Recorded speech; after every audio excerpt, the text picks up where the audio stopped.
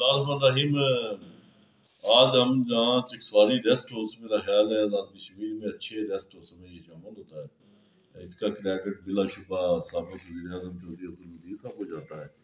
اور اس میں یہ ہے کہ یہاں کے جو ان کے بیٹے M L A Qasim ji صاحب۔ قاسم مجید صاحب میرا خیال ہے مستقبل میں وزیر بھی بننے والے ہیں۔ انشاءاللہ۔ انہوں نے بڑی دلچسپی وہ رکھتے ہیں، خاص طور پر چکسواری ٹون میں۔ گائے بگائے وہ بتاتے رہتے ہیں کام بھی۔ تو ان کا اپنے لوگوں کے لیے درد میں فیل کرتا ہوں کہ اچھی بات ہے۔ ایک لیڈر کو اپنے جو کارکنان ہیں، ان کا خیال رکھنا چاہیے۔